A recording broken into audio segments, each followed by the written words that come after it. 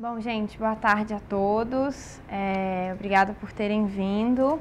Hoje a gente vai discutir a, prote a proteção e a inclusão de crianças e adolescentes online, algumas perspectivas tanto de segurança de menores quanto de possibilidade é, do uso da internet por eles, né, para inclusão, educação e expansão do conhecimento. É, para isso, nós temos dois convidados conectados aqui. É, o André Ramiro, que é bacharel em Direito pela UFPE, diretor do Instituto de Pesquisa Direito e Tecnologia do Recife, é, membro colaborador da Comissão de Direito e Tecnologia de Informação da OAB Pernambuco e membro do grupo de, do grupo de pesquisa Direito, Tecnologia e Efetivação da Tutela Jurisdicional.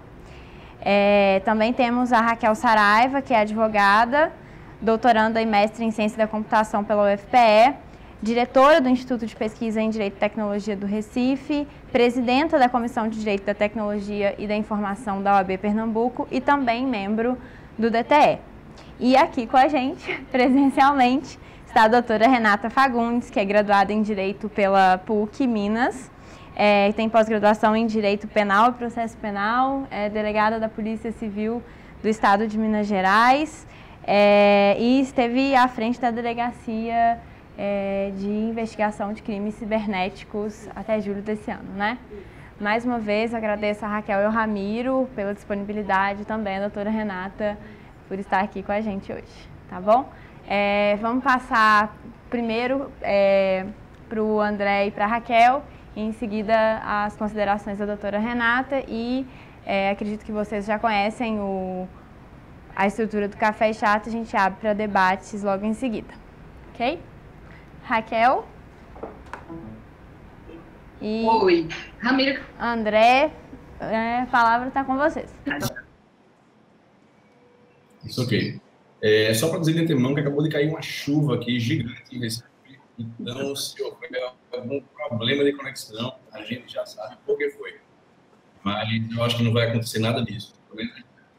É, mas eu agradeço, Luísa, agradeço ao Iris como todo, agradeço ao pessoal do Genete por ter feito o convite. É uma honra participar desse, desse, desse painel de um tema que é tão caro para a gente, e eu digo para a gente é, que está interessado em garantir direitos né, nesse ambiente de tecnologia. É, eu e Raquel, a gente arquitetou uma fala, um, um, uma linha de raciocínio para falar em conjunto, e vai ser basicamente pautada em um projeto que a gente tem aqui em Recife, é, por meio da Comissão de Direito da Tecnologia e da Informação da OAB, é, onde a gente faz uma visita nas escolas públicas do Estado e agora, a partir do segundo semestre, nas escolas públicas da, é, é, é no âmbito da prefeitura também, né, no ensino fundamental. Mas nesse projeto a gente busca levar algumas informações sobre inclusão digital e segurança, coincidentemente, para os jovens. E é sempre muito rico.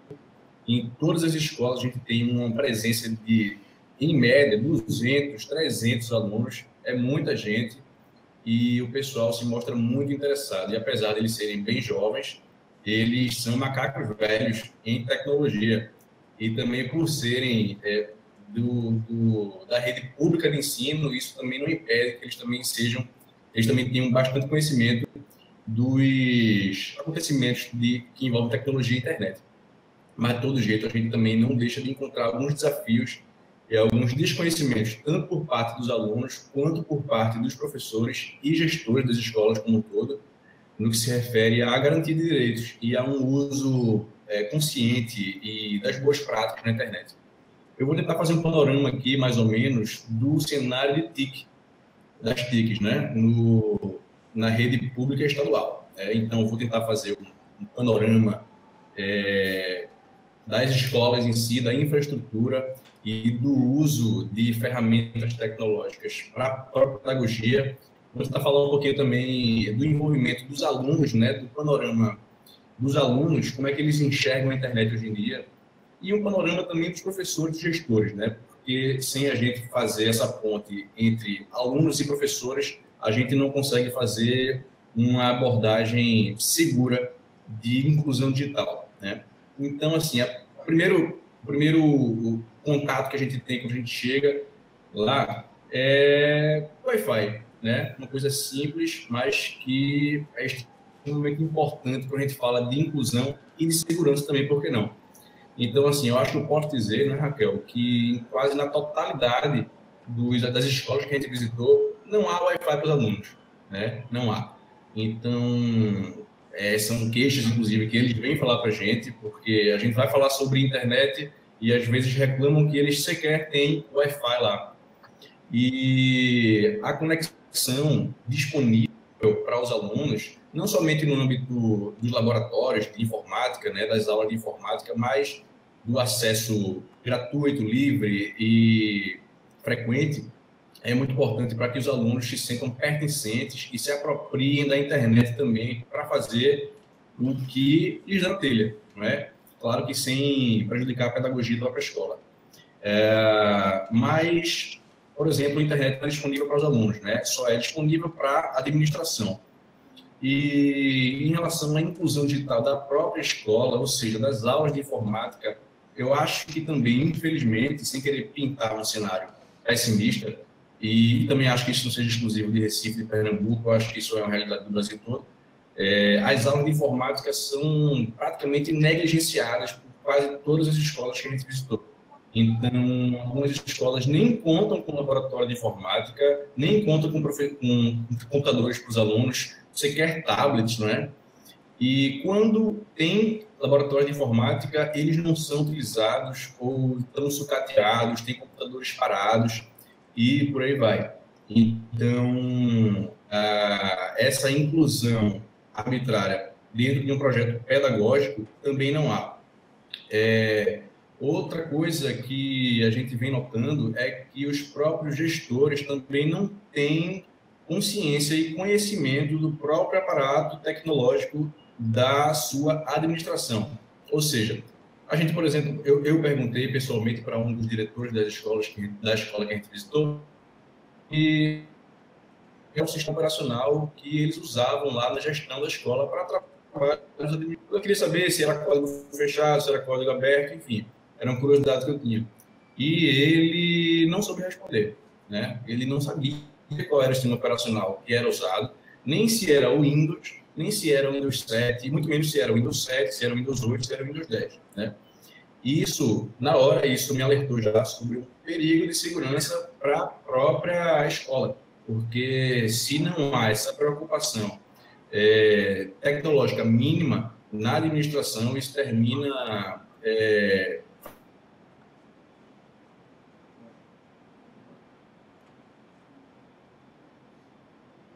ficam vulneráveis a ransomware, por exemplo.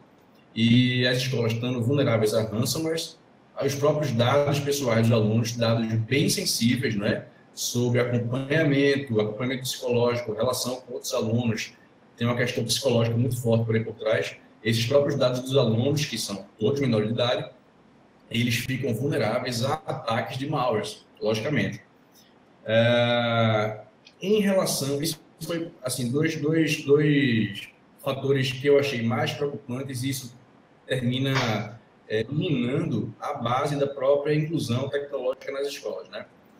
Uh, a gente aqui em Recife também tem, por exemplo, na rede municipal, um programa uh, de inclusão digital por meio de robótica.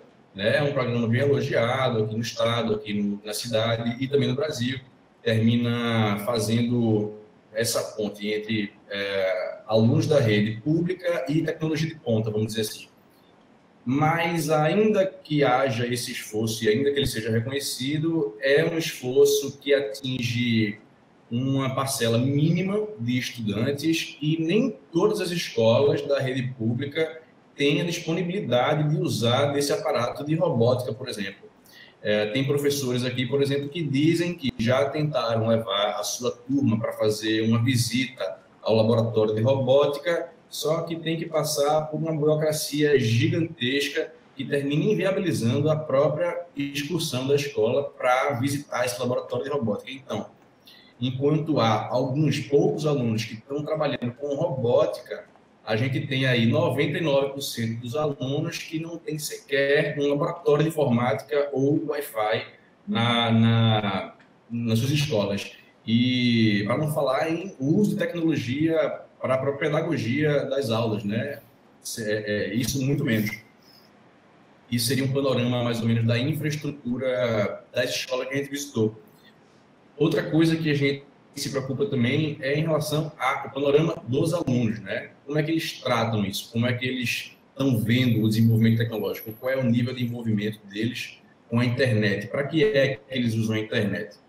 Então, assim, é, isso é a realidade do Brasil, né? Não necessariamente para crianças, mas eles basicamente não usam computador, até por serem de um nicho de renda, de baixa renda, daqui de Recife e de Pernambuco, eles muitas vezes não têm computador em casa e basicamente usam a internet pelo celular. O uso da internet pelo celular, ele limita demais né, a, própria inclusão digital e, por que não, a segurança, porque a gente sabe que não há tanta preocupação com segurança, com antivírus, por exemplo, nos celulares, quanto a gente tem com computadores. Então, se não há esse contato direto dos estudantes com computadores de desktop, eles também não vão, não vão ter uma ideia de segurança e inclusão realmente completa. Né?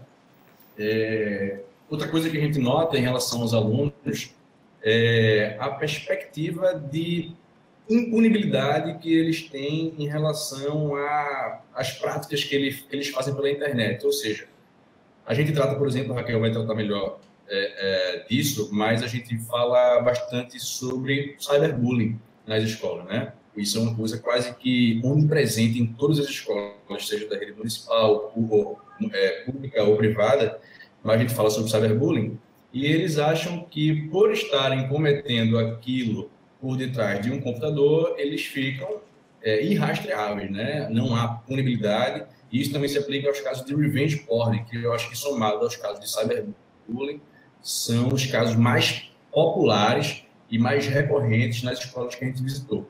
É muito preocupante. Então, eles acham que podem praticar é, essas, essas, é, esses bullying de revenge porn com seus é, é, colegas, enfim, é, sem que sejam rastreados, sem que haja qualquer espécie de previsão de punibilidade para isso.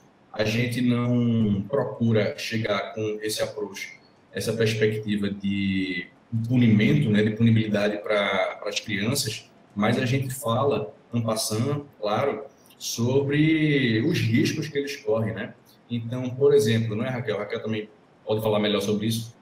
É, temos um slide na nossa apresentação sobre revenge porn, se não me engano, onde a gente fala que os praticantes dessa, dessa conduta, eles podem pagar indenização, né? Para a gente não falar em cadeia, a gente fala de indenização. A gente é, apresenta aqui, por exemplo, dois anos, há dois anos atrás, a indenização para uma pessoa que praticou revenge porn era de 5 mil reais e Hoje em dia subiu para 75 mil reais a indenização. E a gente tem, por exemplo, alguns alunos que se empolgam com a possibilidade de ganhar alguma espécie de dinheiro com isso. Né? Ou seja, é, a gente ficou espantado, né? Porque ao invés dela se preocupar e querer acabar aquilo pela raiz, ela estava preocupada em ganhar uma grana com, com essa espécie de coisa. É, enfim, é uma educação de base realmente é, é, do lar mesmo, que a gente tenta suprir, ainda que de uma maneira muito delicada. E, por exemplo, temos também um caso de hacking de um aluno que, por achar que estava detrás do computador, poderia invadir a rede da escola. É, foi um relato também que a gente ouviu. E ele veio falar para a gente, ele veio perguntar se havia alguma maneira dele ser pego por ter praticado isso. E aí a gente, logicamente, é, alertou ele, aterrorizou ele, ficou muito preocupado com a possibilidade de ser pego por ter hackeado a rede da escola. E depois da apresentação ele veio falar com a gente e a gente falou, né, da, dos perigos que ele corria para ele não repetir mais aquilo. E ele saiu preocupadíssimo assim nessa conversa, né? Mas, enfim, isso só para ressaltar a perspectiva de impunibilidade dos alunos. E isso, logicamente, é uma consequência da falta de inclusão e da falta de perspectiva de segurança desses jovens em relação ao uso da internet. E, por último, é, uma perspectiva muito importante também em relação à, à inclusão digital dos professores também, por que não? E da, e da perspectiva deles em relação à segurança, né? Porque se a gente promove essa espécie de educação, essa espécie de preparo, de base para os alunos, sem que os professores também acompanhem, é, isso termina sendo minado, isso termina sendo deficiente, porque se o aluno acha que pode e vê que o professor é deficiente em inclusão digital, então sequer o aluno vai respeitar quando o professor quiser fazer uso de tecnologia no processo de pedagogia das suas aulas, né? Então, a gente vê, por exemplo, que vários professores eles ficam muito é, de olhos esbugalhados e muito perplexos com a nossa apresentação, porque eles não sabiam que aquilo existia. Enquanto os alunos sabem o que é um hacking, sabem o que é um bullying, praticam, sabem que o revenge porn praticam, os alunos sequer sabem dessa realidade, né? Então, assim, isso é muito problemático.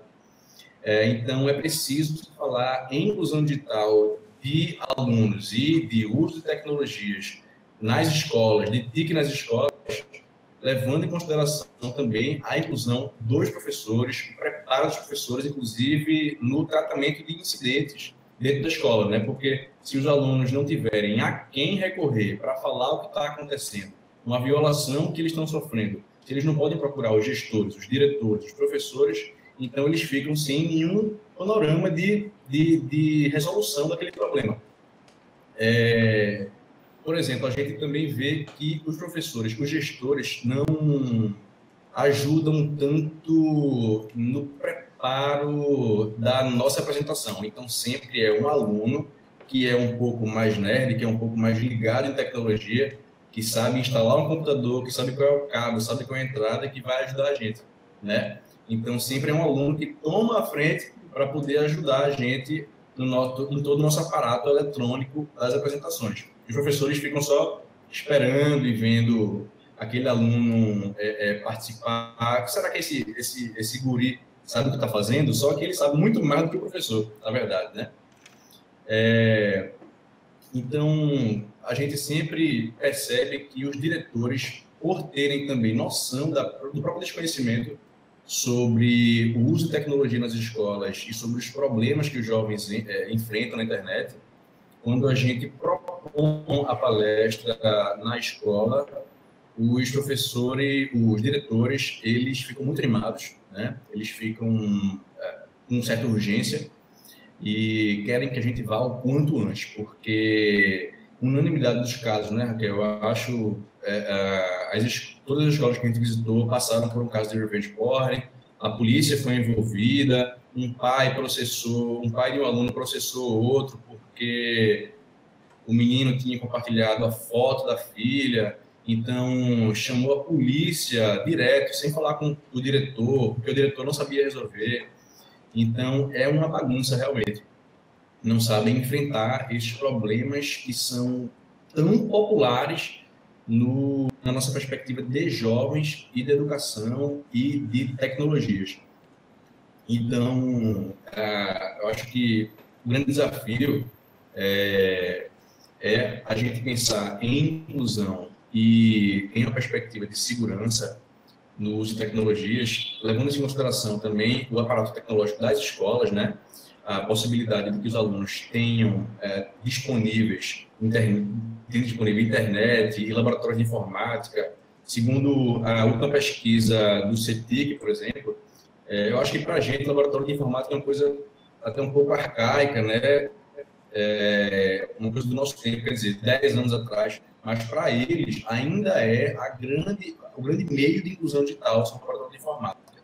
Então, se eles não têm contato com, é, frequente com esse tipo de tecnologia, quando o professor usa, por exemplo, um computador na sala de aula, é um alvoroço, né? É quase que um elemento estranho que entra na sala de aula, ou quando vai passar um filme, ou quando vai pegar um computador, botar no HDMI para passar alguma coisa, aí vira uma bagunça a sala de aula. Ou seja, é um elemento estranho. Então, a gente está mais, o mais distante possível de uma ubiquidade de internet. Nessa perspectiva da rede pública daqui de Pernambuco e do Brasil, eu também acredito. Então, a gente tem que falar em inclusão digital também dos professores, para que eles saibam inserir esse tipo de tecnologia, esse tipo de, de inclusão digital nas escolas, levando em consideração tanto gestores quanto gestores de coordenadores e diretores, como os alunos como um todo, e também todo o aparato de TIC nas escolas. Esse é o cenário que a gente enfrenta aqui e é, talvez não seja o pior de todos, porque as crianças e os jovens, adolescentes, eles estão muito ligados no que acontece, eles sabem o que é Deep Web, eles sabem o que é o hacking, eles jogam Dota, eles usam o WhatsApp, eles usam o Telegram, eles fazem tudo isso. Agora, na maioria das vezes, não tem uh, o acompanhamento necessário. Em casa, provavelmente, eles não vão ter o acompanhamento necessário e nas escolas eles também não têm. Então, eles vão aprender é, da maneira mais tortuosa possível. Né? Esse é o cenário que a gente encontra e eu acho que Raquel agora vai para a prática da gente, né? A gente entra nessa pintura com a nossa apresentação e Raquel pode falar um, mais especificamente sobre o nosso projeto, as nossas palestras. É isso, minha gente. Obrigado. É, obrigada, André. É, Luísa, primeiro eu queria agradecer vocês pelo convite. É uma honra para a gente estar aqui participando é, desse evento. É, então, como André falou, agora eu vou falar um pouco sobre, é, de fato, o que é que, é, o que, é que a gente apresenta para esses alunos, né? É, o que é que de material a gente leva, quais são os temas que a gente aborda na apresentação. Então, é, a gente chega, a gente começa falando sobre um pouco sobre a história da internet, né? Como é que a internet foi criada? Porque é, esses jovens eles têm acesso à internet, mesmo que seja pelo celular, como o André falou, é, mas eles não sabem. É, a gente percebe também neles quando a gente está falando é uma surpresa assim, saber como é que a internet foi criada. Eles não fazem a menor noção. Então a gente coloca todo o contexto histórico da, da criação da internet e aí depois a gente vai dar uma pincelada sobre o Marco Civil da Internet e a inovação é, legislativa do Marco Civil da Internet, né? Tanto em, em, em termos é, de matéria, né, que foi a primeira legislação específica sobre internet que a gente tem no, no país, quanto em termos de é, inovação é, na forma como foi feito, né? A forma como a lei foi proposta, como foi debatida, é, as audiências públicas que, que houve, a forma como ela foi escrita, redigida, com participação, com muita participação social, né? E, e a gente joga isso justamente para eles refletirem um pouco também sobre a forma de se fazer política, né? Que a internet foi usada para fazer, para elaborar um projeto de lei é, colaborativamente, né? O país inteiro foi é, é, pôde dar pitaco na, na elaboração do Marco Civil então, a gente coloca isso para eles também como, como que diz assim, a internet, vejam, a internet é essa ferramenta também. É a ferramenta que vocês podem usar para fazer política também. É, daí depois a gente vai a gente passa para temas que permeiam o, o, dia a dia deles, né? Porque desde o começo do desde o começo da elaboração desse projeto, a gente está elaborando esse projeto desde o ano passado, o final do ano passado mais ou menos, e desde o começo, a gente uh, optou por ter, assim, primeiro por não subestimar os alunos, porque a gente sabe que eles usam a internet, como o André falou, eles, eles jogam Dota, eles é, hackeiam páginas na escola, é, enfim, eles sabem o que é isso, eles navegam na Deep Web também, vários deles já falaram isso pra gente. Então, a gente adotou a postura de não subestimar os alunos. Então a gente não, é, a gente chega lá sabendo, ok, vocês usam a internet, vocês sabem como é que funciona. Então aí depois a gente vai falar sobre os temas específicos assim de coisas que a gente sabe que acontece na escola. Então cyberbullying, sexting, é, revenge porn. A, é, a, gente fala um pouco sobre é, aqueles desafios de asfixia também. É, depois do caso da baleia azul, a gente incluiu a baleia azul também na apresentação. E no final a gente fala sobre segurança mesmo, sobre segurança de dispositivos, né? Questão de malwares, é, como você colocar uma senha forte.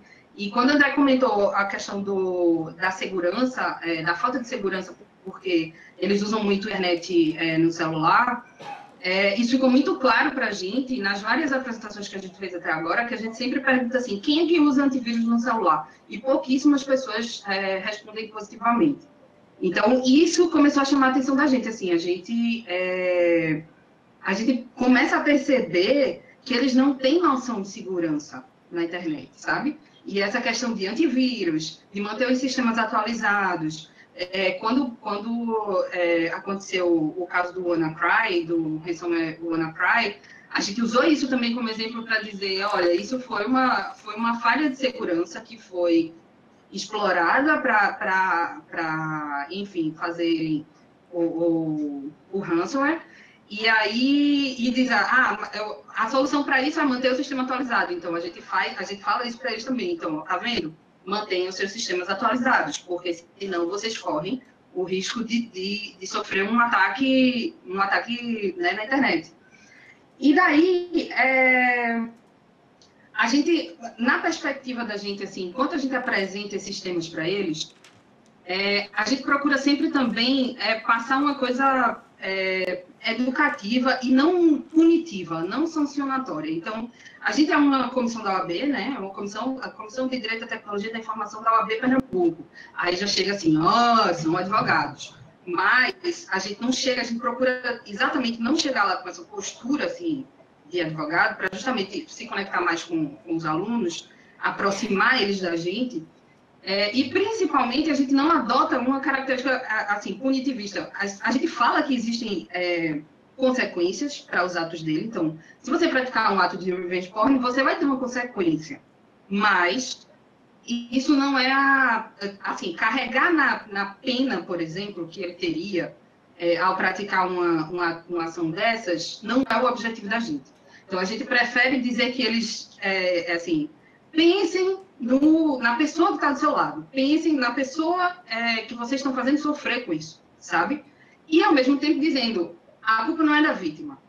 Então, se existe um caso de revenge porn, é, a, culpa não é da menina que tirou a foto, que normalmente é a vítima, né? Porque a gente usa uma estatística no, na apresentação é, que cerca de 80% da, das vítimas são mulheres.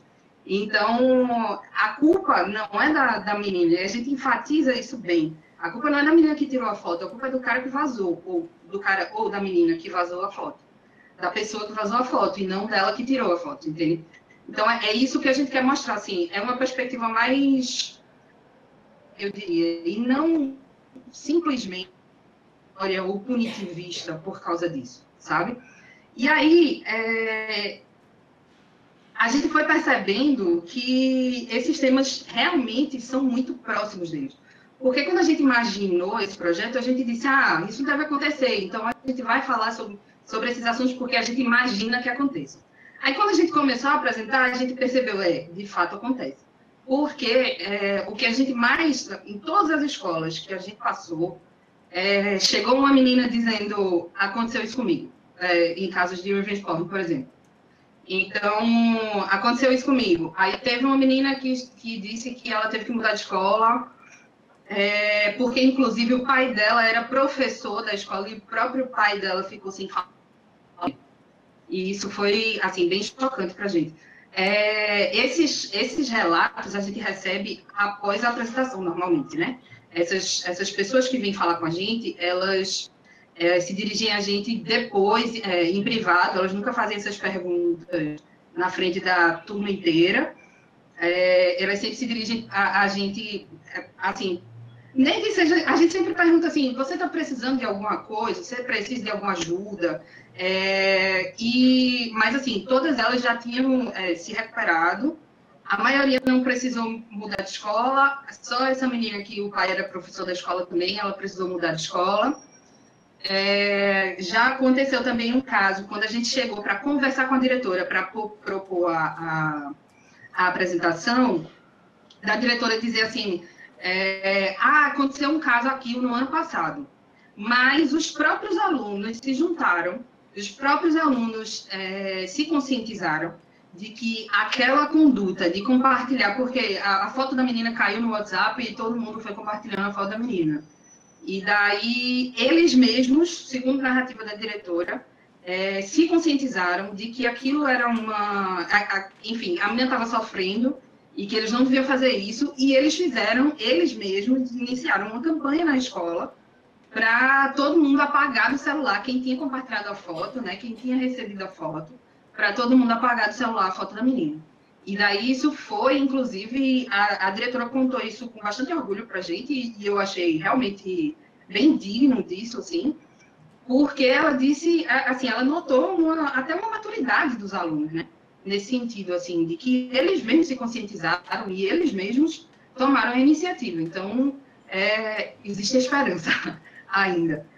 É, daí, assim, em, em, cada apresentação, a gente tem algum relato de alguma coisa curiosa. É, André falou dessa outra, dessa apresentação que o, que o menino falou que hackeou a página da escola. Ele disse que hackeou o jogo Dota também, não é, André? É... E aí, assim, você percebe a, o nível de conhecimento desses alunos, né? Aí tem uma história muito curiosa que foi quando a gente estava apresentando, é, na verdade eu que apresentava essa parte sobre os desafios de asfixia, e o menino, eu percebi assim, enquanto eu falava, que o, um, um, menino sentado assim no auditório, ele estava rindo, rindo e cochichando com uma coleguinha do lado. E, aí eu perguntei a ele, e ele continuava cochichando, cochichando e rindo, e meio debochado até assim. Aí eu apontei para ele assim, eu fiz, mas vê só, você quer falar alguma coisa? Aí ele disse, ah, é porque eu já fiz isso. Aí eu fiz, como é? Ele, disse: Eu já fiz isso quatro vezes e estou aqui. Porque a gente começa, quando a gente fala do, dos desafios de asfixia, a gente fala que teve um menino em São Paulo que faleceu é, em decorrência disso, é, que estava jogando jogo online, os amigos, ele perdeu a partida e os amigos desafiaram ele a, a, a, se asfixiar e ele chegou a ser socorrido do hospital, mas veio a falecer, é, infelizmente. E aí eu estava contando justamente essa história. E o menino foi dizendo: Ah, não, mas eu já fiz isso. E eu tô aqui. Eu fiz, aí eu fiz quatro vezes. Ele falou: Eu fiz quatro vezes e não aconteceu nada comigo. É, então, é, assim, aí a gente, nessa hora eu até fiquei meio chocada. Eu, eu, falar a verdade, eu fiquei meio sem saber como é que reagir é, em, em, relação a esse menino. É, mas, enfim, eu mostrei para ele, eu acho que eu contei a história, né? Mostrei que nem sempre isso dá certo, nem sempre as pessoas é, contam a história, né? É, daí a gente, é, assim, outra coisa que a gente, é, para fazer esse projeto, a gente recebeu o apoio da SaferNet. Então a gente utiliza material da SaferNet e a gente também passa é, a helpline da, da SaferNet para é, né? A gente tem um slide lá que a gente coloca o endereço da helpline do SaferNet para o pessoal pedir ajuda caso aconteça algum caso desse, algum caso de porn, etc. É, é, e daí várias pessoas, várias, vários alunos também já chegaram para a gente para perguntar como é mesmo que faz a denúncia. Então, né, mais um indicativo de que essas coisas realmente estão acontecendo. É, o material, eu separei aqui para mostrar para vocês, o material do SaferNet é, que a gente usa, é, a gente distribui essa cartilhinha aqui, eu não sei se vocês estão vendo, mas está aqui. Essa cartilha da SaferNet para os alunos, e aí tem uma para os professores também, que é essa Web We Want. É, esse material está disponível no site da SaferNet, se vocês é, quiserem acessar, tiverem interesse, curiosidade, está disponível lá. A gente sempre deixa, a gente faz doação desse material, é, deixa na biblioteca das escolas, porque, enfim, muitas delas, ou talvez todas elas, não tem material nenhum sobre isso, né? Nenhum material sobre internet, sobre educação é, é, digital. É, enfim, e a gente faz essa doação, a gente doa várias dessa cartilinha amarela que eu mostrei, para deixar na biblioteca deles consultarem é, quando quiserem ou tiverem interesse, porque infelizmente a gente não tem como dar uma cópia para cada aluno, né? Então a gente faz uma doação grande para a escola e aí e essa outra cartilha que eu mostrei dos professores, ela tem vários exercícios, várias atividades e tal. e vários professores já vieram conversar com a gente e dizer, ah, vai ser ótimo, vou usar isso na, na sala de aula também e tal, etc. Então, aí é isso. Eu acho, assim, para finalizar, é, a gente percebe, como o André falou, uma falta de educação digital muito grande, de, tanto do, dos alunos, mas principalmente dos professores também. Eu acho que é uma coisa que a gente deveria, que, que as escolas deveriam pensar em investir é, em formação de professores para que eles possam é, levar esses conhecimentos para os alunos. É, a gente a gente frisa muito a, a, a, noção, assim, na nossa, na nossa apresentação, de que os, a, a própria a, a, criação da identidade desses jovens passa muito pela internet. Então, eles estão na internet muito, eles estão utilizando a internet é, diuturnamente. É, o WhatsApp é uma coisa que, enfim, é, para eles é quintal de casa.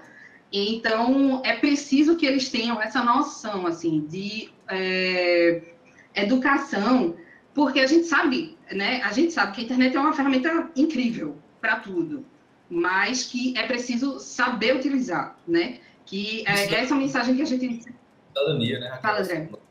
A noção de cidadania, né? Porque isso, isso. o uso que se faz hoje da internet vai ter repercussões coletivas e não somente hoje, isso. mas no futuro da internet.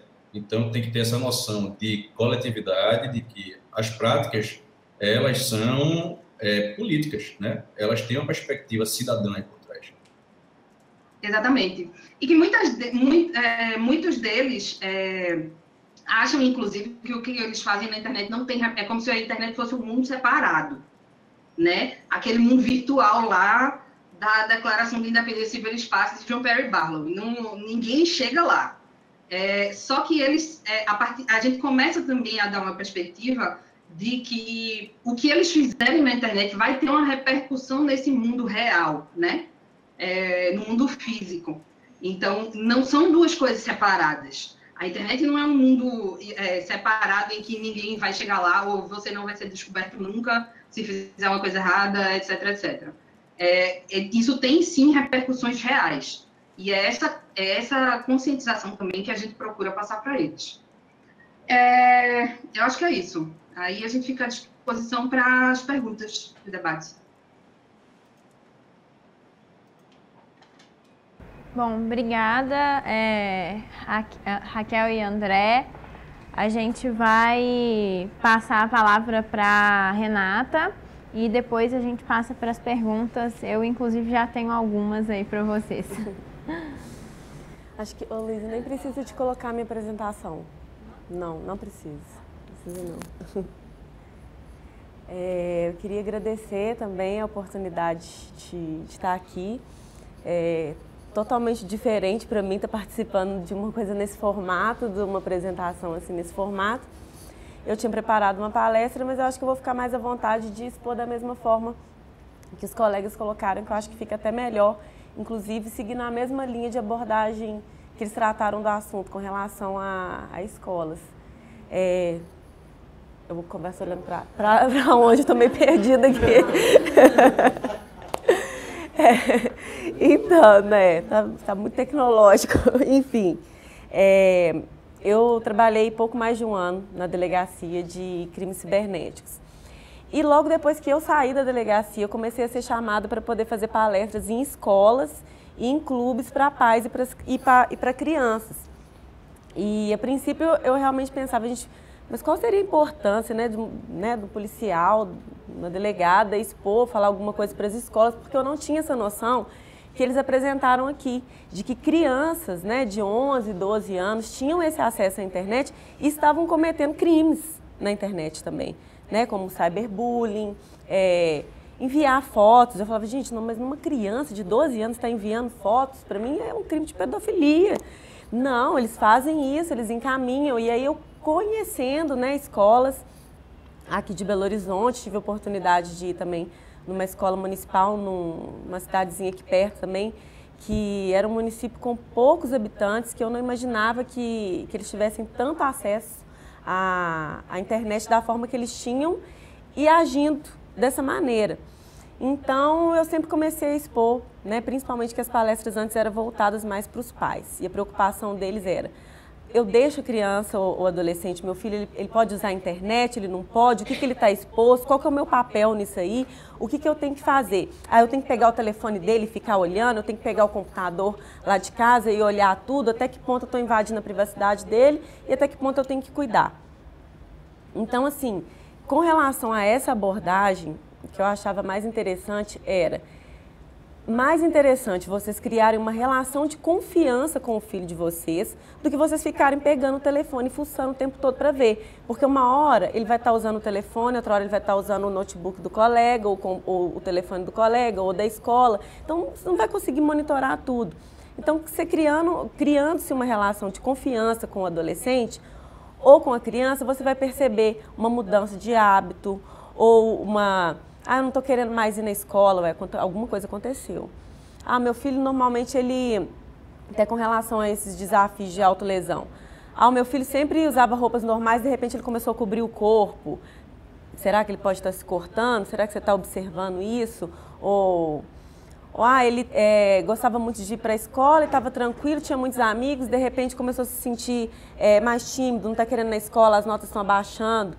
Então, para os pais, essa relação de confiança que a gente teria que, que a gente tem que ter com a criança, né, no cotidiano, a gente tem que ter na internet, porque é muito prático, gente, para um pai, né, para uma mãe, eu sou mãe também, você pegar um iPad, um telefone, colocar na mão da criança, ela vai te dar sossego um tempo. Então, assim, mas é só a gente entregar aquilo ali e tá tudo certo? Não, a gente tem que ver o que, que ela está fazendo ali. Existem canais de entretenimento direcionados na internet para criança para adolescente, para determinada idade. E agora o desafio maior era como passar isso para uma criança e para um adolescente. Né? E principalmente na figura de, de, um policial, como eles falaram. A gente não tem que chegar com uma, uma abordagem punitiva, porque a intenção do, da direção da escola é realmente essa, olha, vai lá e põe medo dos meninos. Mas como que eu vou colocar medo? Gente, os crimes de cyberbullying nada mais é do que um crime contra a honra. Qual é a pena máxima disso? Não vai prender nem um adulto, quanto mais um adolescente. Então, o que é mais interessante a gente fazer? É conscientizar dessa forma. É, olha, isso vai ter uma consequência. Você gostaria que fizessem isso com você? Porque é muito engraçado na hora que você coloca uma foto fora de contexto de um colega, cria um meme e sai espalhando para a escola inteira. E se naquela foto fosse você? Naquela foto fosse uma irmã, sua, ou sua mãe, ou, ou se tivesse acontecendo com você, será que é interessante? Será que não é mais interessante a gente fazer a conduta de forma contrária? Olha, fulano, eu recebi uma foto aqui sua e o pessoal está espalhando, vamos lá na direção da escola, vamos procurar seu pai, vamos tentar ver o que a gente pode fazer isso para poder amenizar, porque esse sofrimento que, que o colega está passando, você pode estar tá passando por isso também. Outra coisa que é muito difícil também de abordar é a superexposição dos adolescentes na internet. Porque tudo que, tudo que se faz hoje em dia tem que se tirar uma foto. Se você não faz, não tira uma foto, não posta na internet, parece que você não fez, ou é muito mais interessante você colocar a foto do que você está curtindo o momento ali com seus amigos. Então, eu procurava explorar isso também.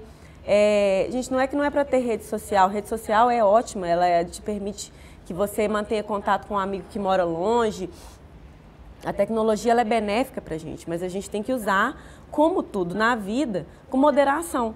Então, em vez de você ter uma rede pública e adicionar milhões de amigos, amigos entre aspas, né, que você não conhece, por que você não mantém a sua rede privada? Vai fazer uma postagem de foto? Ah, eu quero postar, eu tive aqui, esse lugar é muito bacana, não precisa colocar o lugar que você está naquele momento. Faz uma postagem posterior, né, escreve o negócio depois, fala que você esteve naquele lugar, principalmente criança e adolescente, porque eles usam a, a, a internet mesmo sem maldade. Então coloca uma foto de uniforme é, e tem um monte de amigo e você sabe se todo mundo que está ali é, na sua rede social é realmente adolescente ou é uma criança igual a você. Ah, eu sei, a foto está lá. Quem te garante que quem está ali é, é quem está atrás da foto? E o que eu percebia na minha experiência quando eu trabalhei em delegacia que eram esses casos né, de, de crimes de pedofilia, de abordagem de indivíduos adultos com crianças, era dessa forma. Eles se passavam por crianças para poder começar a conversar, utilizando né, termos e lugares. E é lógico que via a rede social da criança onde ela estudava, ah, eu estudo em tal colégio, que é próximo. E, e a criança, às vezes, ela não tem esse discernimento de pensar, será que é mesmo uma criança que está conversando comigo? E manter a conversa quando não marca um encontro. A gente teve um, um caso na delegacia que era uma menina que ela achava que ela estava conversando com uma atriz de uma novela, uma novelinha dessas de criança. E aí começou a conversa e super empolgada, porque ela estava conversando com uma ídola dela, né, na internet. E aí a conversa começa a passar para assim: ah, você gostaria de ser atriz? É, será que os figurinos ficariam bom em você? Será que você pode me mandar uma, uma foto sua assim? Ou com um biquíni, ou com uma roupa assim? E a criança manda, porque, ou o adolescente, porque ela não tem noção daquilo que ela está mandando. E quando ela começa a se sentir constrangida com aquela situação, que ela vê que ela está fazendo uma coisa errada, ela começa a ser ameaçada. Como? A pessoa fala, olha, é, isso que você fez é errado. Se você contar para seu pai e para sua mãe, você vai ser castigado. Vou mandar isso para os seus colegas, eles vão ver o que, que aconteceu com você. Então aquilo ali vira um ciclo que a criança não consegue sair. E aí que vem o papel do pai. Se ele tem uma relação de confiança boa com o filho dele, o filho dele não vai ter medo de ser punido por alguma coisa que ele pode, poderia ter feito de errado. Olha, mãe, pai, está acontecendo isso e isso. Eu estou conversando com uma pessoa, ela falou que isso que eu fiz é errado. É errado? Ou, ah, não, não, quero, não tenho tanta liberdade, talvez, de falar com meu pai ou com minha mãe. Então, alguém da escola. Então, por isso que essa abordagem com, com as crianças e adolescentes, ela é importante para isso para mostrar que tem perigo na internet. Uma coisa que eu sempre falava era, é, pelo menos quando eu era pequena, né, meu pai e minha mãe falavam assim, não fala com os outros estranhos na rua, não. Alguém te oferecer alguma coisa na rua, não aceita. E por que, que na internet a gente faz isso? A gente sai conversando com quem a gente não conhece, a gente manda foto, compartilha conteúdo com quem a gente não conhece, de uma forma natural. Porque a gente não se sente em risco porque você está ali sentado na sua casa, na cadeira, você está, teoricamente, está protegido né, da violência, que para a gente, a gente acha que a violência ela acontece, ela fora, é fora da nossa casa. E a gente esquece que a, a violência ela tem acontecido na internet, sim. Por que, que a gente fala tanto né, de aumento de crime cibernético? É, tanto tem se falado sobre o assunto? Porque todo mundo hoje em dia tem acesso à internet. Né? Antigamente não era todo mundo que tinha acesso, a internet era discada, era difícil pra caramba você poder baixar um conteúdo, o negócio demorava a noite inteira, ocupava a linha de telefone da sua casa. Hoje em dia não, você pega um telefone, conversa com um amigo meu que está lá na China, é, eu, ah, eu baixo um conteúdo em um minuto, um vídeo, de repente eu já viro né, um youtuber. A, a facilidade é muito grande. E isso veio de uma forma e a gente não, não se previne, a gente não acha que a gente sofre violência com relação a isso. E os criminosos se aproveitam dessa, dessa coisa de, olha, eu não vou ser rastreado. Eu estou aqui, ninguém vai saber quem eu sou. É o que acontece com o crime de bullying também. Como a, a Raquel falou. É, eles não acham que, que ah, ninguém vai me rastrear, ninguém vai descobrir o que, que eu estou fazendo. Eu estou fazendo isso aqui, ninguém vai saber quem que eu sou. Mas a gente consegue rastrear importante. Quando eu vou, eu falo, olha, é, hoje em dia tudo que a gente faz na internet, praticamente tudo, é rastreável. Seja crime ou não sendo crime. Se for crime, então, e procurou a polícia, alguma providência a gente vai tomar. Então, a gente vai descobrir. Então, é, o que eu falo também, não faça na, na internet que você não faria na sua vida real. Você sairia, você, né, Lógico que algumas pessoas talvez sim. Mas ver uma pessoa que você não conhece, fulano, você é isso, você é aquilo, eu estou achando que você é desse jeito e tal, e tal, e tal. E por que, que você faz isso na internet? Se é uma pessoa que você nunca viu na vida, você começa a xingar ela, ou pega uma foto, começa a compartilhar e causando constrangimento para ela. Ah, não, mas a gente é, é, é jovem, eu tenho 12 anos, isso para mim, dá nada para mim não, sou adolescente. Tudo bem, agora você tem 11, 12 anos. Daqui a uns 10 anos, será que você vai pretender arrumar um emprego na vida? Ou talvez fazer um concurso público, alguma coisa? Tudo que a gente faz na internet é eterno. Você fez uma coisa que agora que é uma bobagem, você está postando e, e acha que, ah, eu sou adolescente, eu, eu quero fazer isso, eu quero me expor dessa forma. Será que daqui a 10 anos, daqui a 15 anos, você vai pensar dessa forma? Porque o negócio vai estar tá lá. Alguém vai ter salvado isso. Eu ainda não sei a, a que ponto que está né, a discussão sobre o direito de esquecimento na, na internet. É, mas tudo que a gente faz, você vai procurar alguma coisa, alguma coisa que algum artista fez, não sei, há 10 anos atrás, há 5 anos atrás, você vai achar. Então, da mesma forma, essa conscientização com relação ao, aos adolescentes é importante e mais importante ainda também com relação aos pais. Esse projeto de, que, que vocês estão fazendo de, de ir às escolas é excelente. Sempre que me chamavam quando eu estava na delegacia, eu ia, porque eu acho muito importante. É lógico o trabalho da polícia de investigar é, é importante? Sim, é o nosso trabalho como policial. Mas esse trabalho preventivo que a gente pode fazer, essa coisa de conscientização, eu acho que ela é tão importante quanto. Porque não, é, não são todas as pessoas que têm essa, essa conscientização, que, que imaginam que isso possa acontecer, não só adolescentes, como também pais, como também professores. É uma coisa que é muito nova para a gente e que, que a gente tem que sim aprender como lidar. Uma frase que eu gosto muito, que eu uso na, nas palestras, é que a internet ela aproxima as pessoas, inclusive as que você não queria. Então, é, é, é a gente utilizar e ter na internet, ter nas redes sociais os mesmos cuidados que a gente tem na nossa vida cotidiana. Acho que é isso. Obrigada.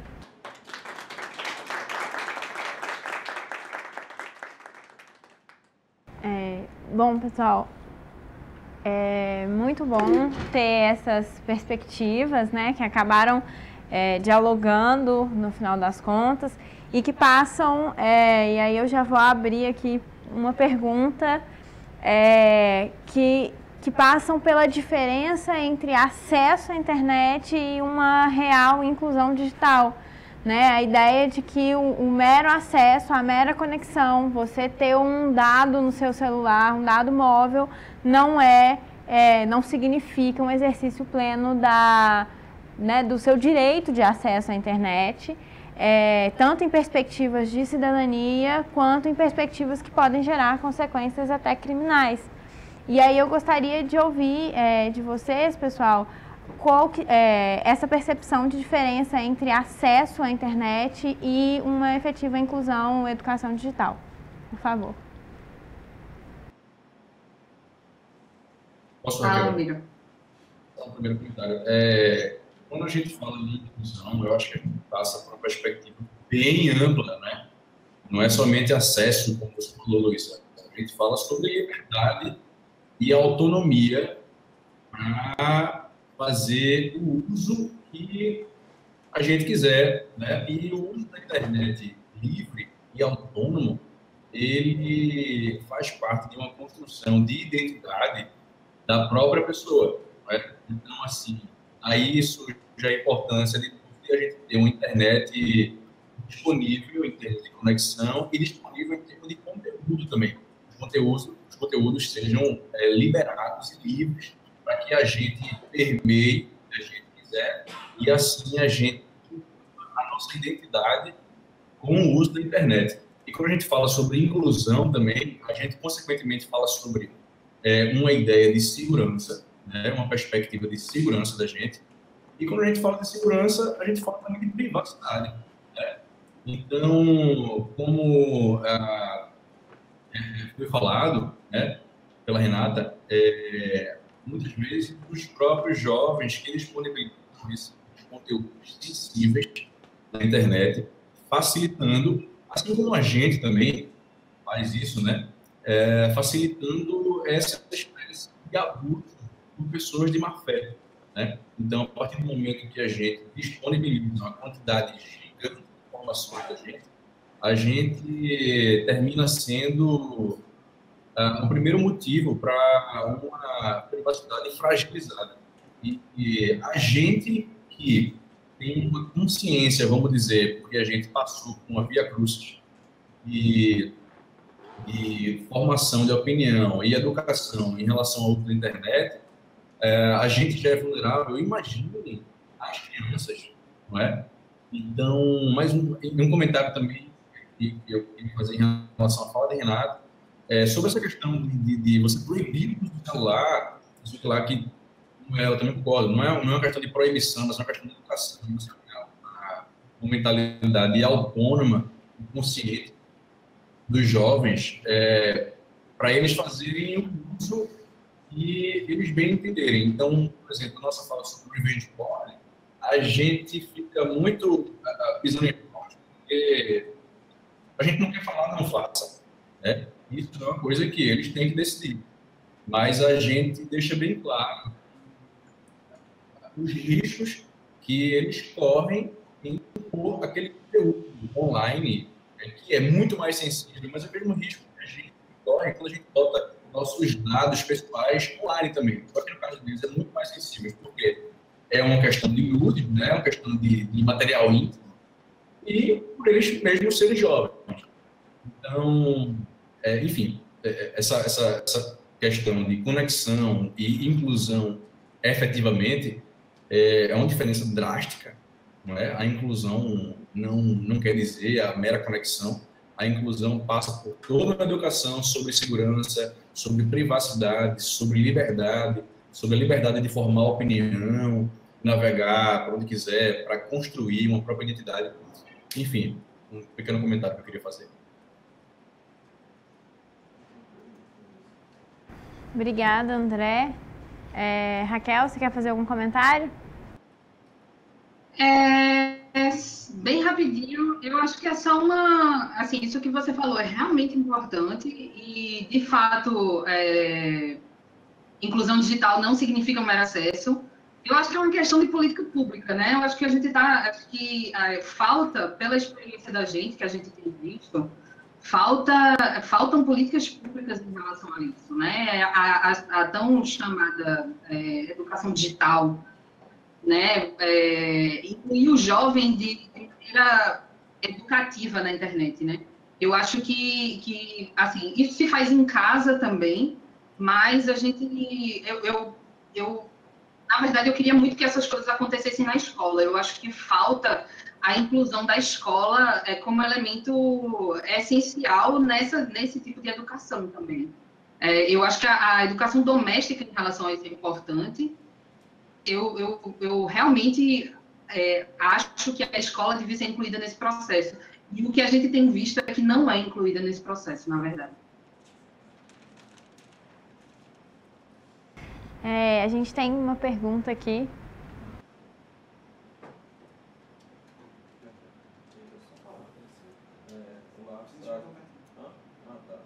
Meu nome é Davi. Pra... É, gente, eu sou Davi, então já falei. É, eu tenho duas perguntas para fazer, assim. É, vocês tocaram no assunto do, do baleia azul e eu gostaria de saber de vocês, assim, de que maneira vocês abordaram isso e como que foi a repercussão disso depois de descobrirem que era possivelmente uma fraude, de que maneira vocês trabalharam isso com as crianças e se foi colocado como uma fraude, se foi trabalhado como um hoax, algo do tipo. E eu tenho outra pergunta que eu já conversei um pouco com a Renata sobre, que é sobre a lei de infiltração policial na internet, que autorizou em caso de crime de pedofilia.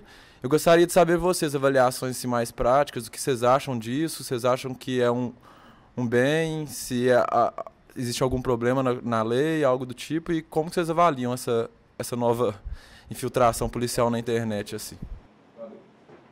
Vocês ouviram? Legal. É, ele perguntou sobre baleia azul, né? Isso. Como é que vocês trabalharam diante da possibilidade de ter sido uma fraude? Então, é, a primeira vez que a gente apresentou é, o caso é, Baleia Azul, quando a gente incluiu isso na apresentação, a gente falou isso também, né? Olha, isso é uma fraude, gente. Isso não é real. E daí, na verdade, é, a informação foi recebida pela, pelos alunos com um certo espanto, outros começaram a rir, é, mas a gente, a gente tratou, assim, da, de forma bem, bem leve, eu acho, falando que é, é, preciso ter cuidado, que eles precisam ter é, cuidado com essas, essas condutas na internet, cuidado com quem eles conversam na internet, né? Essa coisa que, que Renata estava falando, de achar que é alguém, na verdade não é e tal. É, mas, assim, é, tem sido super tranquilo. É, eles receberam, assim, com, com espanto quando a gente falou, a gente diz isso na apresentação, né? Que é uma fraude, né? não é real e tal. É, mas é basicamente isso, assim. A, a, gente não se estende muito nesse assunto, na verdade. É, mas é, foi recebido, assim, com surpresa e com certo, é, né, uma gracinha. Eles acharam engraçado também. A gente fazer um pequeno comentário só. É, é isso, né? Eu acho que a, a, a, a, introdução do tema é bem por essa perspectiva da fraude mesmo. É ali uma trollagem, né? É, é, é, introduzir na linguagem deles, etc. Mas a gente não teve nenhum relato específico de baleia azul, e ninguém procurou a gente. Ah, mas a, a, pegada que a gente usa é sobre saúde, não é? Porque vítimas de baleia azul, eu não, gosto, não, não gostaria de dizer nem desafiantes, ou, sei lá, jogadores, ou de uma trollagem a partir de uma vulnerabilidade de saúde e uma vulnerabilidade psicológica que está ali é, na, naquele jovem.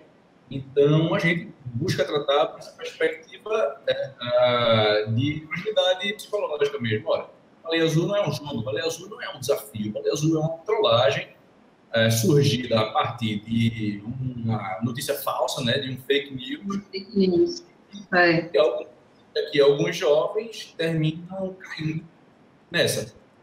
É, então, assim, não, não encarem isso como um desafio, porque é uma questão de saúde psicológica, e também não encarem isso como um jogo ou como uma coisa coordenada, porque isso nada mais fácil, nada mais é do que uma trollagem que não há sequer uma coordenação maior, única da baleia azul. São pessoas privadas, pessoas é, individuais que trollam outras pessoas, né, se aproveitando de, de, de uma fragilidade como eu disse.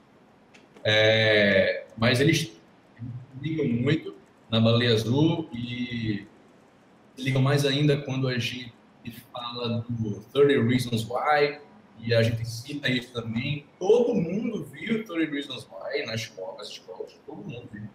Né? É, com 13 razões, 13 porquês, não sei como é que é. Mas eles, vamos dizer que eles têm uma consciência da relação de, é, é, da depressão com o suicídio. Né? E é, sobre, sobre essa, essa, essa questão da, da infiltração policial, casos de. Eu não sei se a Raquel ouviu essa pergunta.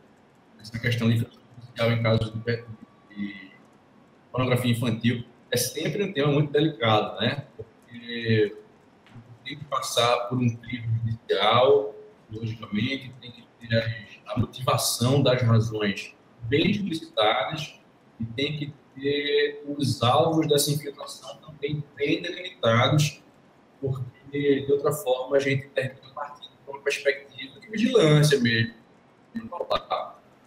Então, ah, tendo essa ressalva da, da, dessa, dessa, desse recurso, dessa artimanha que muitas vezes, sem querer diminuir o problema da pornografia infantil de maneira alguma, isso é uma coisa que tem que ser tratada energicamente, sem dúvida alguma, mas a gente sabe também que as forças né, policiais, algumas vezes, é, para não dizer muitas, elas também fazem uso desse recurso, desse argumento, para poder aplicar uma, uma vigilância é, na coletividade, na sociedade de fato.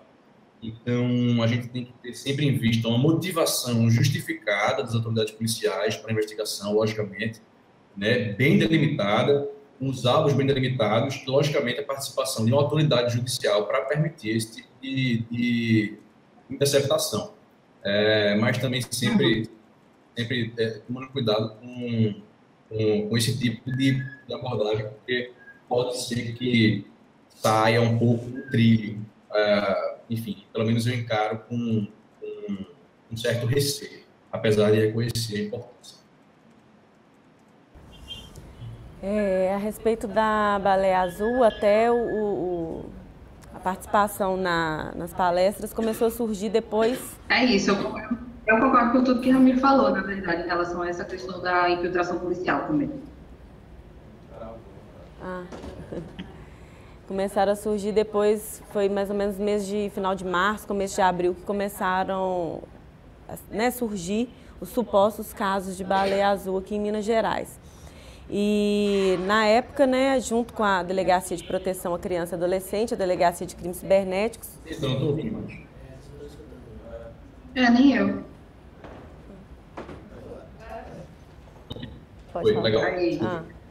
É, então, junto com a Delegacia de Proteção à Criança e Adolescente, a gente se reuniu para saber como que a gente ia fazer a abordagem com relação a isso diante de notícias na imprensa de que casos estariam acontecendo aqui em Minas Gerais. O que, que acontece? É, a imprensa não divulga casos de suicídio porque quando você divulga casos de suicídio se estimula e de repente o negócio começou a ser divulgado de uma forma é, tumultuada e ninguém sem muito saber o que estava acontecendo muitos pais preocupados, muita gente chegando, meu filho está jogando baleia azul porque tem um hacker tem alguém. Então a gente tinha que saber o que estava acontecendo. E à época a gente não conseguiu vincular nenhum dos casos, até a época que a Delegacia de Crimes Cibernéticos estava investigando, a gente não conseguiu vincular nenhum dos casos de suicídio a alguém estar incentivando aquela criança, aquele adolescente a cometer aquelas, aquelas autolesões. E foi passado para a Delegacia de Proteção à Criança e Adolescente, por quê? Porque existem muitos casos de crianças e adolescentes com depressão, é alto o índice de depressão na adolescência. Então, a gente não podia afirmar até que ponto existia alguém incentivando as crianças a se lesionarem ou a criança já tinha uma depressão, viu na imprensa os passos lá, porque todo mundo, era só você colocar na internet, você sabia qual que eram os passos. E a criança que já tinha uma depressão começava a seguir aquilo e e falando que estava jogando baleia azul, quando na verdade não tinha ninguém incentivando. Então era isso que a gente, isso pelo menos que eu buscava, é, tranquilizar os pais dessa forma. Olha, é, depressão na adolescência é uma coisa que existe? Sim. Não é minha, minha especialidade nem da delegacia que eu trabalho. Existe a delegacia que é responsável por isso e que lidou com esses casos. E que eu acredito que na maioria dos casos também não existia ninguém incentivando o adolescente a se cortar ou, ou fazer qualquer outro tipo de lesão em, em, si. Era realmente uma criança que já, já vinha num processo e que começou a seguir aquilo ali. Então, assim, não sei até que ponto que, que foi bom essa, essa divulgação tão ampla, porque se a imprensa não divulga casos de suicídio, é porque existe um motivo. E, de repente, começou a ser divulgado dessa forma. Então eu procurava abordar desse jeito. Com as crianças, eu, falava, eu procurava abordar, olha, é, alguém entrou em contato em algum grupo é, de WhatsApp ou rede social com relação a isso, procura ajuda, printa as conversas, procura a delegacia, procura seu pai ou um responsável na escola e para poder tomar alguma providência. Com relação à infiltração policial nos casos de crimes de pedofilia, eu acho que seria interessante se tivesse que se buscar, às vezes, um, um caso de, de alguém que estivesse distribuindo isso em, em larga escala, cometendo crime, crimes com várias pessoas. E da mesma forma que a interceptação telefônica, essa lei ela, é, ela é, basicamente segue, né? Tem que ouvir o Ministério Público, ouvir o Judiciário, tem um prazo determinado. Então eu acho que ela é, é, é bem cercada como a interceptação telefônica. Eu não tive a oportunidade de fazer nenhuma investigação me utilizando da lei, porque eu, eu saí da Delegacia de Crimes Cibernéticos, e então não posso falar na prática, na prática como que, que seria feito isso. Mas eu acho que seria mais interessante talvez para a Polícia Federal, que lida né, com, com, com esse tipo de crime interestadual, com um volume maior de, de, de crimes, e não para um, um crime específico, talvez uma criança, não sei como, como que se faria isso na prática. Mas eu acho que a lei ela foi bem cercada como a interceptação telefônica para não ser utilizada de, de forma discriminada, mas de, de, com um pedido justificado dentro, dentro né, do que a lei elencou que seria possível para poder fazer esse requerimento, com acompanhamento do Ministério Público e do Judiciário. É, alguém tem outra, alguma pergunta?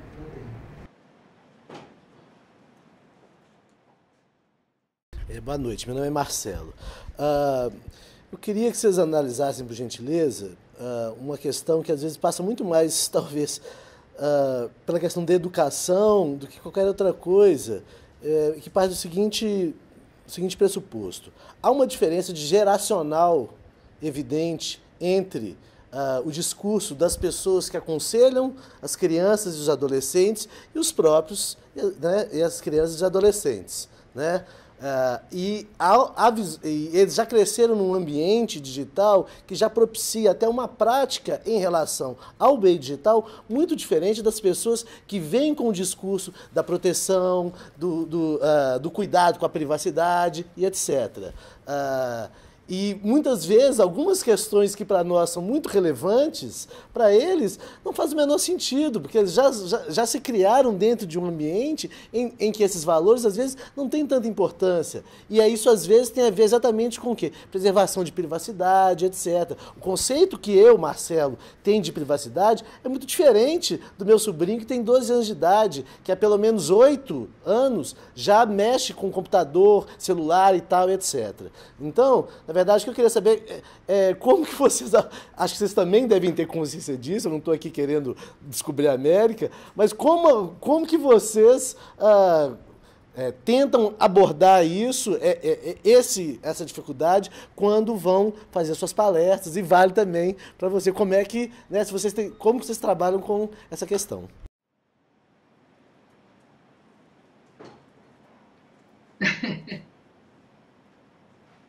Vai que é tu, Raquel. tá. Marcelo, né? Isso. Marcelo, a gente é, a gente tenta se aproximar ao máximo é, desses alunos, assim. A gente sabe e realmente existe uma diferença é, entre nós e eles, né? Gente, eu já estou na casa dos 30, então a gente está dando palestra para menina de 15 é, a oito mais ou menos, é, existe realmente uma, uma diferença enorme entre nós e eles e os valores que a gente compartilha. Mas aí a gente também procura escutar eles, né? E, e assim, eu acho que a gente trata de, de assuntos é, que, que, de toda forma, é, é, assim, tem uma, um, um, senso comum, né? É, porque quando você fala de, de revenge porn, por exemplo, é, é, por isso que a gente não quer dizer para eles, a gente não chega para eles dizendo não faça, não, não compartilhe aquele nude com seu namorado, por exemplo. A gente não, a gente não acha que é o nosso papel falar isso, entende? É porque justamente assim a gente tem consciência de que eles estão fazendo isso. É, e mas é, a gente sabe também que quando esse nude cai na internet assim em público, né? Quando ele vaza do, do namorado para os amigos do namorado, a gente sabe que isso tem um efeito é, muito é, assim devastador na vida daquela pessoa, daquela vítima. Então, é, eu acho que a gente primeiro a gente trata é, desses assuntos meio no senso comum, assim, de dizer é, é que sentir um pouco mal se isso cair na internet, sabe? É, assim, Bom, eu me sentiria bastante mal se isso acontecesse, né, comigo, mas é, eu acho, assim, pelos relatos que a gente vem recebendo, isso é realmente uma verdade. Né? As meninas realmente sofrem quando acontece isso. É, a questão de privacidade realmente já, assim, cada um tem um limite da sua privacidade, né? O que, que é o limite para mim, muito provavelmente não é um limite para um, um aluno com quem a gente está tratando é, porque eles estão acostumados com essa predisposição, né? essa coisa de dividir o dia a dia deles com os amigos pelas redes sociais. Então, é aquela coisa de fazer mil Instagram Stories por dia, é, mostrar exatamente o que, é que você está fazendo a todo momento e tal, etc. A gente sabe que eles fazem isso. E, na verdade, a gente não está querendo chegar para eles e dizer assim, não façam isso. Mas a gente está querendo dizer assim, cuidado ao fazer isso. Né? Escolham os momentos que vocês querem compartilhar. Escolham melhor os momentos que vocês querem compartilhar. Mas, ao mesmo tempo, a gente não se coloca na, na, na posição de dizer, ah, não faça, é, isso é péssimo, isso é ruim para você. Não, avalie a questão.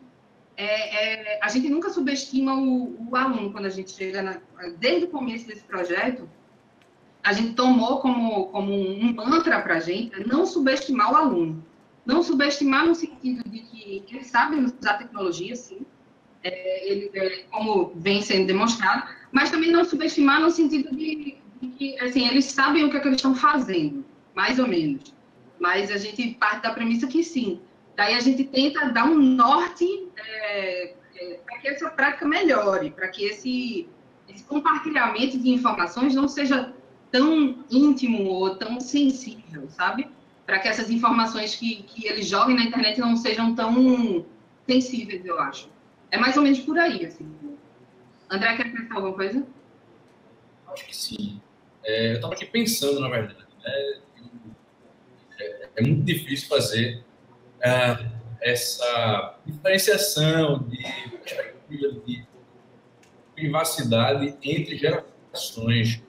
É, eu não sei exatamente a, a, a perspectiva de privacidade, a ideia de privacidade de nós, vamos dizer, dos 25 aos 40 anos, uh, se é muito diferente.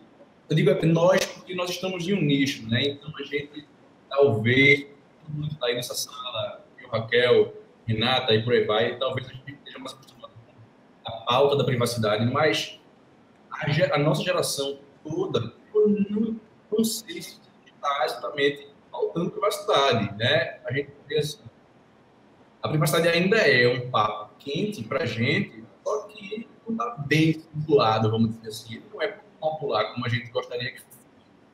Então, eu não sei se a nossa geração se liga tanto em privacidade, é, se liga mais em privacidade do que as crianças. Eu não sei, eu acho que é bem parecida a, a, a relação. Né? Eu acho que uma pessoa de 30 anos hoje em dia que pouco se lixa é, em relação aos dados na internet, não sei se ela se ela está se ela está mais preocupada do que uma criança de 30 anos, por exemplo.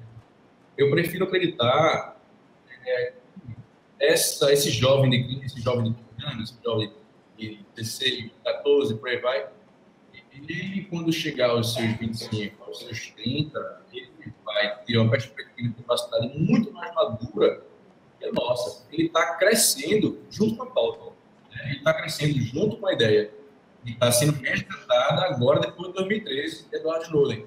Então, assim, eu acho que essa geração, talvez, essa geração dos 15 anos, vamos dizer assim, ela vai ter uma noção muito mais rica de privacidade na nossa idade do que beleza? Ou não sei, eu não tenho certeza, mas eu prefiro pensar assim.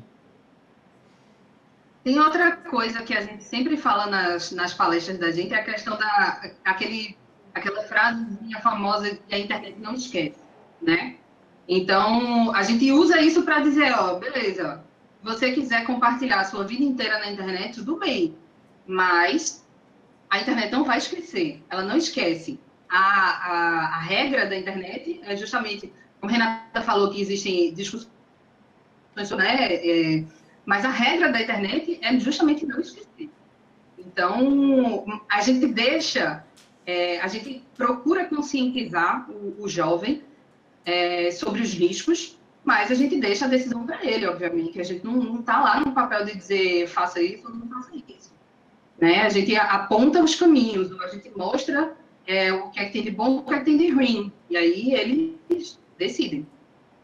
É, é assim, só Raquel Santali, eu acho que, a, por um lado eles estão mais vulneráveis, é, os seus dados pessoais, a sua vida privada, por um lado, tudo isso está mais vulnerável para os jovens de hoje que para a gente jovem, ou seja, há 10, 15 anos atrás, eles estão mais vulneráveis, eu acho que eles também têm um ambiente de discussão mais rico que a gente não teve. É, até o próprio acesso à informação eles é mais interessante, as pautas estão mais quentes, pautas que a gente não, não é, se beneficiou né, na nossa época. Então, eu acho que é isso, né? É, são duas lados da mesma moeda. Se por um lado eles estão mais vulneráveis, por outro lado eles também estão acompanhando o crescimento uh, do direito à privacidade como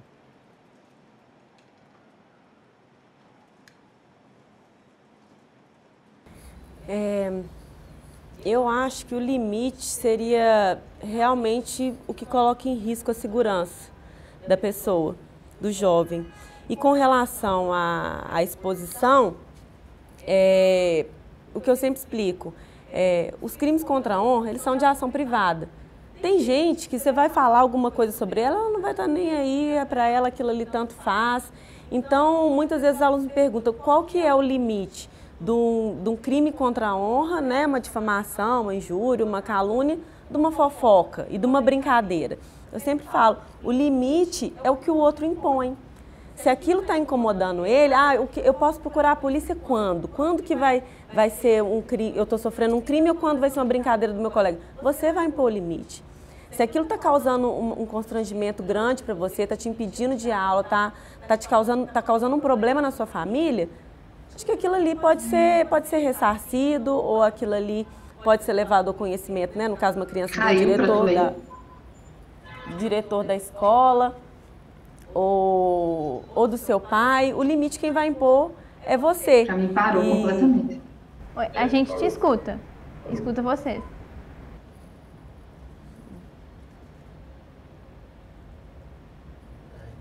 Pode falar? Eu, hein? É, no, no, que diz respeito ao esquecimento, eu sempre dou, dou exemplo para eles o seguinte: se você pegar um pedaço de papel e escrever o fulano é bobo e é chato, se pegar aquele papel e rasgar, acabou. Se você fizer aquilo na internet, você não vai poder rasgar igual você rasgou um papel. Então aquilo ali vai ficar um tempo. E você não sabe, ah, não, mas eu só falei desse jeito. Pois é, mas você só falou uma coisa para você não, não, não tem problema, mas para outra pessoa tem. Esse vai ser o limite. Eu dou o exemplo de um caso que teve na delegacia, nem foi na época que eu trabalhava lá, não, mas era uma menina que ela tinha um, um negócio no rosto, um defeito genético, vamos supor assim, né? Que ela era uma menina diferente por causa disso que ela tinha no rosto. E ela tinha uma rede social e ela colocava fotos dela. Alguém pegou aquela foto dela, que era uma foto de perfil, que ela com certeza achava que era bonita porque ela colocou ali, e começou a divulgar e, e ela virou um meme na internet. E ela procurou a delegacia, é, foram tomadas as providências, né? Eu deixo sempre bem claro para os alunos que comete o crime não só quem mandou primeiro, mas todo mundo que está mandando e está compartilhando aquilo ali também está cometendo crime. E depois ela fez um depoimento, né, na, na internet falando o que que aquilo tinha causado para ela. Ela colocava assim: o que, que será que eu fiz para poder merecer o que aconteceu comigo? Porque o meu pai teve que deixar de trabalhar porque os, os, colegas de trabalho dele falavam isso. A minha mãe, eu vejo ela chorando nos cantos todos os dias à noite. Meus irmãos não podem ir na escola mais, simplesmente porque alguém pegou uma foto minha e achou engraçado. E isso foi divulgado no Brasil inteiro. Uma foto da pessoa. Então, eu acho que, que o limite para a privacidade, ou por, o, o que você está fazendo com o outro, é o outro que vai impor. E por mais uma pessoa falar, ah, não, mas só por causa disso, mas ela é engraçada mesmo, mas ela não se acha engraçada por causa disso. É uma coisa que é dela. Então eu acho que, que o limite seria, seria esse. É, tem alguma outra pergunta? Não? Bom, gente, então é, já passo para as palavras de encerramento.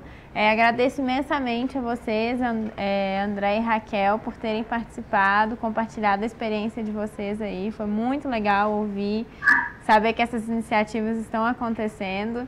É, pedir desculpas aí por inconvenientes técnicos, porque tal, às vezes falar de internet, às vezes falar de internet se traduz em algumas ironias.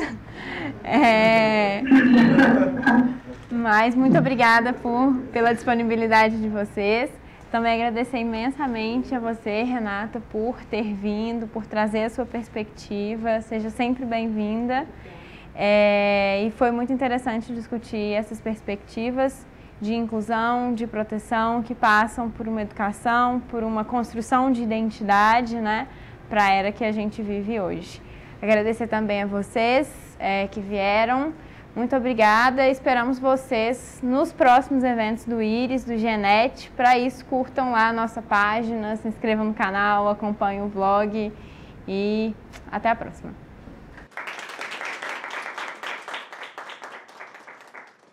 Tchau, gente. Obrigada. Tchau, tchau. Obrigada.